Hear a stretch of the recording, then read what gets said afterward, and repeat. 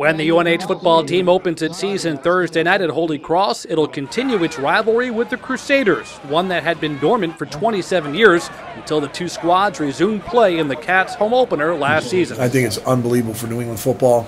I think it's great for, you know, rivalries because there ain't many left in New England to be playing and you know, I really like like playing Holy Cross. I think they fit who we are. I think we fit who they are.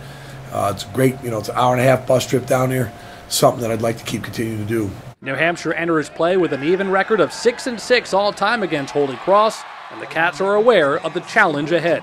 They're a very good football team. They present a bunch of different fronts defensively, and they, from what I hear, they have a very good offense as well. So, as, as every game we play this year is going to be a challenge, and we have, we have to rise to that challenge. No, no, no, it doesn't matter who we're playing. They have a lot of returning starters. I think just their quarterback and maybe one O lineman was lost. Um, so they have a lot of players coming back. Um, they look like a very good team, and we're definitely going to have a tough challenge come Thursday.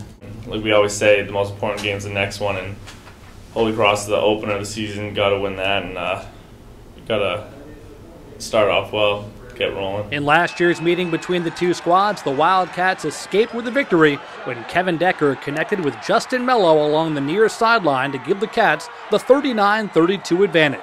I just remember Deck pretty much laying it out there for me, and uh, turned into a touchdown really helped us out. They're out for revenge, and just like any other football team, they, they want to beat us because they want to be 1 0 on Saturday night, and so do we. So we have to come out with our best effort and our best.